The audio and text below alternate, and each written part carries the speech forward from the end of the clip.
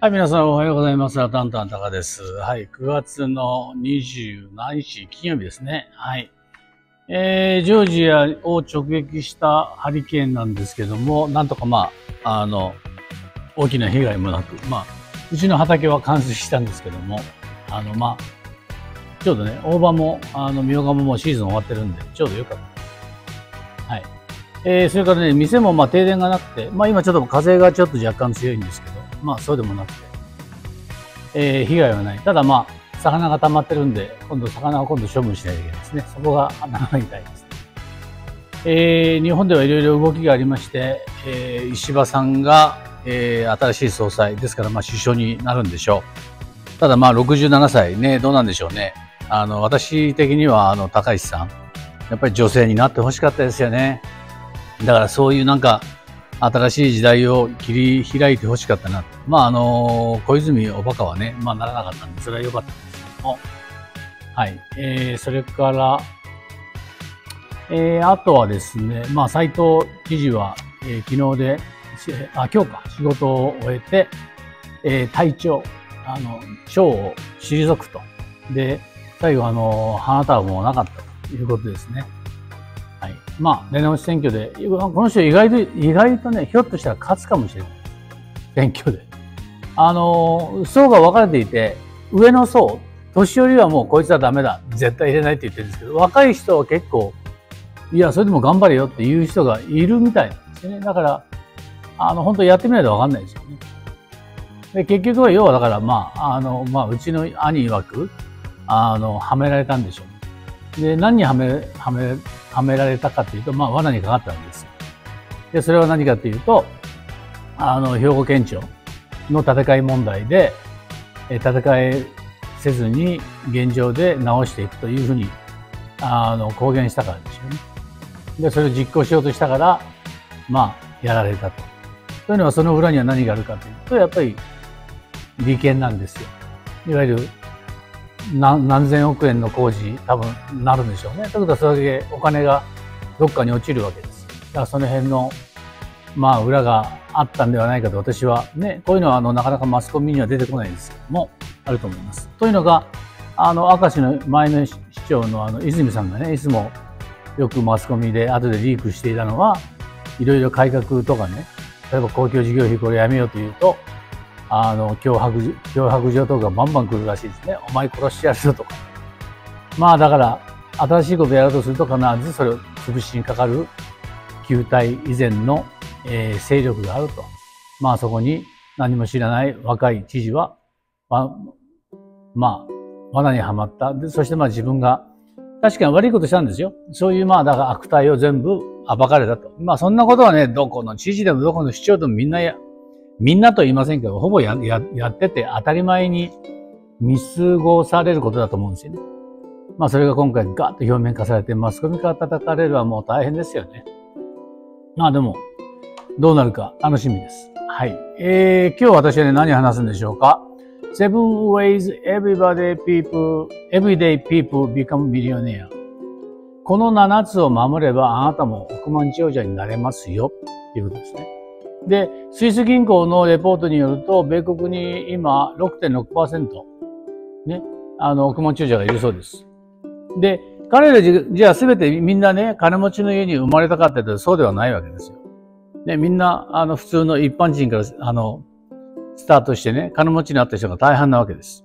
で、これ、7つの特徴とは何なんでしょうかということで、1番目は、借金を避けるために最善を尽くしましょうと。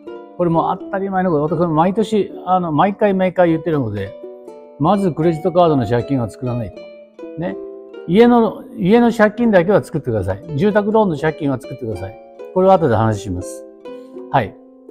ですから、それ以外のつまんない借金は作らない。そして2番目にこれ、ジョーンズ一家の行動を気にしない。これはね、何かというと、あの、隣の芝生は綺麗に見える。ね。じゃあ、うちも綺麗にしようじゃなくて、身の丈に合った生活してくださいということです。だから例えば、隣が新しい車買ったら、あ、じゃあうちも買わなくちゃっていうんじゃなくて、うちはこのままでいいんですよ。ね。あと、まあそうですね。年収5万ドルの人だったら、年収5万ドルの生活をする。年収5万ドルの人が年収7万ドルの生活をすると、もうそこで無理するから金かかるわけですよ。ね。まあそういうことです。3番目、車。車がやっぱりね、アメリカお金かかりますから、車っていうのは買ったすぐから値段がずっと落ちていくんです。で、いい車で3年間で25%から30%の値下がるんですね。悪い車だと3年間で50%から何十下がるんです。だそれだけ、あの、まあ、払った金に対して、あの、あんまりその、見合わないものなんですね。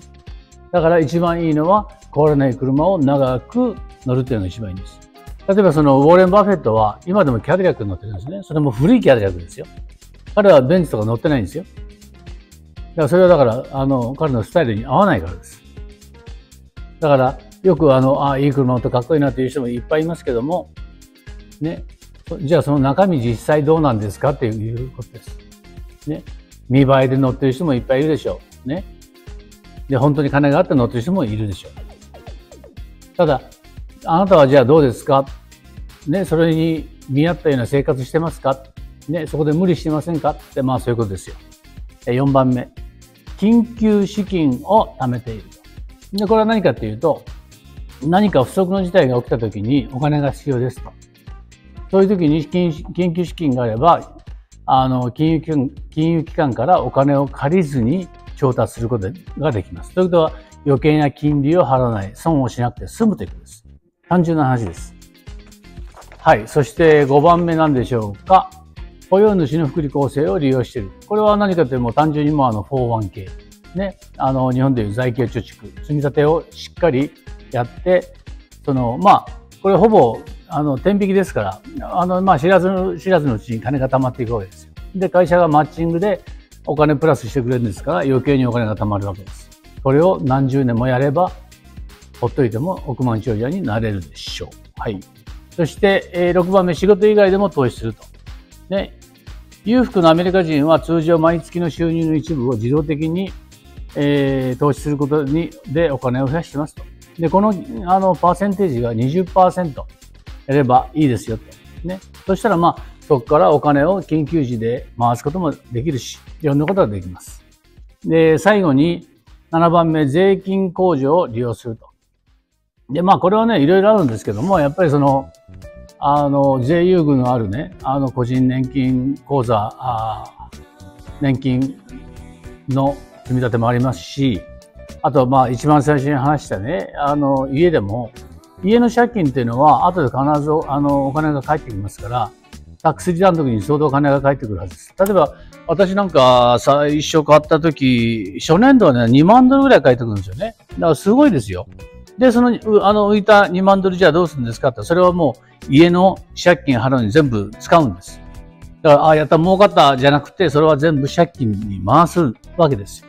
そうすると、30年ローンも20年で返せる。20年が15年で返せる。というふうになっていくわけですよ。だから、あの、アメリカ人でね、あの、なんて言うんでしょう、見た目こう派手な人が多いですけど、実は地味、地味な人も非常に多いんです。で、本当にあなたの隣に住む人が実は億万長者でしっかり金持ってね、質素な生活を送ってるわけですよ。だからそれがね、あの、まあ、日本から見てわからないアメリカ、あの、よく勘違いしてるのはみんな大きな家に住んで、立派家に住んで、いい車乗って、ベンツとか BM とかね、レンジローバー乗ってね、ポルシェ乗ってね、いや華やかな、そういう人もいっぱいいるでしょう。しかし、大多数の、あの、ミリオネア、億万長者は質素に暮らしてるんです。